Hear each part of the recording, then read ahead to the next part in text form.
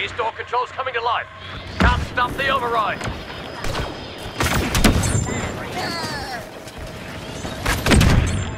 Better stay with your squad.